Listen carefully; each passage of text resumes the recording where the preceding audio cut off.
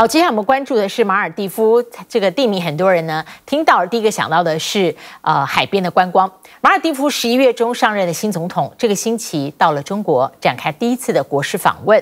中国和马尔蒂夫提升到全面战略合伙伴的合作关系，而马尔蒂夫跟印度由于关系快速恶化，主要是因为印度总理莫迪上传了马尔蒂夫的美景照帮忙宣传，却有三个马尔蒂夫的官员在网络留言指莫迪是小丑，引发了。印度舆论的强烈反弹，马尔蒂夫把三个官员停职，但是两国因为这个留言陷入紧绷。印度旅行社表示，他们会全面暂停印度到马尔蒂夫的观光行程，而马尔蒂夫呢说，只盼望中国观光客赶快去，降低损失。雪白的沙滩与蔚蓝海水，这里是不少台湾人蜜月旅行首选的马尔蒂夫。因为与印度只有六百公里左右的距离，在一九六零年代脱离英国独立之后，这个人口只有五十多万的国家就与印度建立起密切的军事、经济与文化关系。然而，新总统穆伊祖上任一个半月后的第一个国事访问对象，却不是惯例上的邻国印度，反而选择了五千公里外的中国。在大陆国家主席习近平夫妻的欢迎下，两国元首在共同检阅仪仗队之后展开双边会谈。会议一开始，习近平就强调对马尔蒂夫的重视。你是我今年接待的首位外国元首，还翻出历史，强调两国早在几百年前就已经建立起海上丝绸之路，借机拉拢马尔蒂夫积极参与中方提出的一带一路政策。早在六百多年前，中国明代航海家郑和就曾到访过贵国。两国人民通过古代的海上丝绸之路建立了友好的关系。接着这场双边会谈，习近平宣布把两国关系提升到全面战略合作伙伴关系。My strong commitment and desire to reinvigorate the Maldives' long-standing friendship.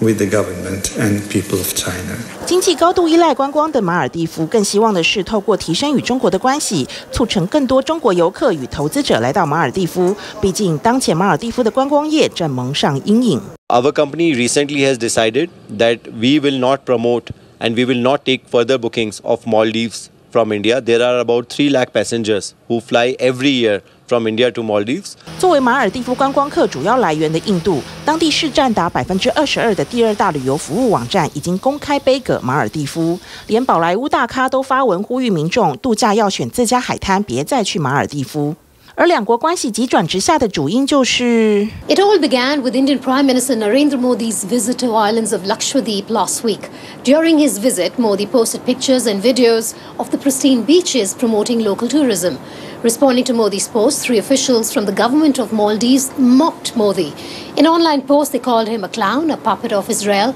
and a terrorist. 这三名马尔蒂夫副部长因为不当发言均已遭停职，但这种充满侮辱性的嘲弄引发印度舆论强烈反弹。I didn't visit Maldives, but you know, being an Indian born and raised in India, definitely. My heart goes for India。莫迪的观光宣传片虽然是事件导火线，但最根本的原因还是去年九月以不到两万票的差距打败外交上亲印度前总统连任之路的穆伊祖，上任一个多月来连番远印亲中的动作，包括就任隔天就要求七十五名印度驻军撤离，上个月中更决定不再延长与印度之间的水文调查合作。外界认为，莫迪选在二零二四年一开年就来到紧邻马尔蒂夫的印度岛屿度假，还发影片力挺自家观光，就是在回应马尔蒂夫。对于马尔代夫呢，这个旅游我们的预判啊，因为它有更多适合中国游客旅游的这么一个需求。马尔蒂夫更期盼疫情前每年约有二十万陆客到访，而且人数年年成长的荣景能快一点回来。此外，周一抵达福州展开五天访问的穆伊祖，在出席商务论坛时就公开向中国企业家招手，喊话来马尔蒂夫投资兴业，共同促进“一带一路”发展。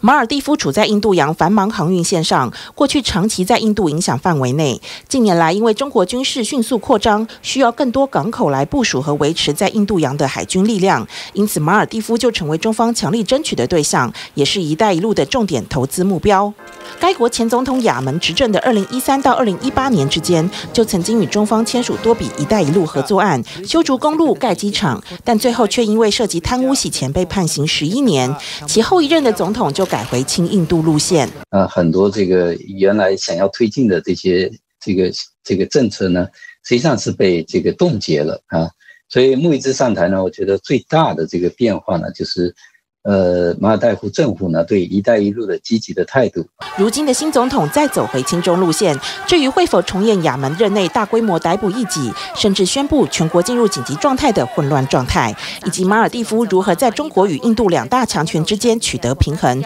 都考验新政府的智慧。TVBS 新闻综合报道。